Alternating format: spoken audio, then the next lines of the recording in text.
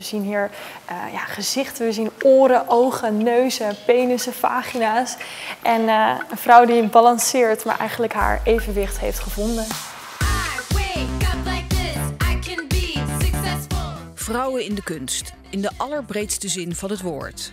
Daar gaat het over in Singerlaren. Van vrouwelijke kunstenaars tot geportretteerde vrouwen, alles komt voorbij.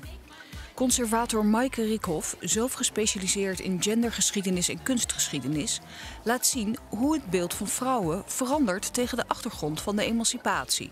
En die emancipatie vond plaats op uh, meerdere vlakken natuurlijk. Dus in de arbeidsmarkt, uh, toegang tot de kunsten, tot sport en recreatie. Uh, en in het moederschap bijvoorbeeld, in de zaal waar we nu staan.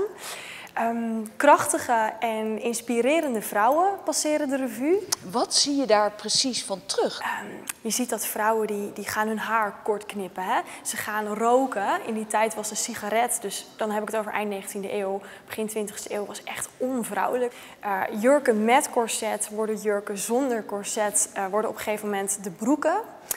Uh, vrouwen springen op de fiets, ze verruilen hun uh, handwerkjes s'avonds voor het danscafé. Uh, ja, er, gebeurt heel wat aan het begin van de 20e eeuw, ja. Helen Verhoeven die breekt radicaal met de uh, blijmoedige, zoetsappige oerbeelden van moeders met kind.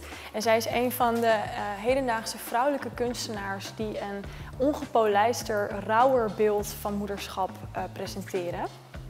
Heel anders dan een serene Madonna met kind uit de klassieke kunstgeschiedenis. De vrouw in al haar verschijningsvormen, van eind 19e eeuw tot nu. In het museum zijn ze allemaal te zien. Nou, dit is uh, Moon Ganyende Helene Christel, hedendaags publicist en podcastmaker. En zij is uh, een van de jonge mensen die zich vandaag de dag inzet voor een inclusief feminisme.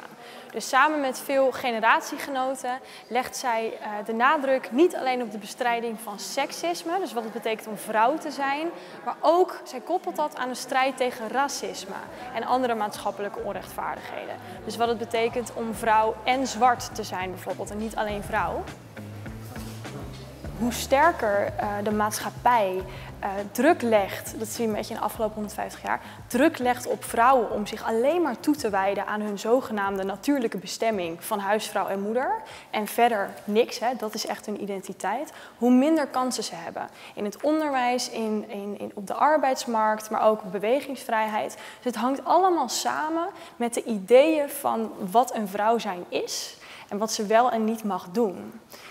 En dat is iets wat vandaag de dag natuurlijk nog steeds speelt.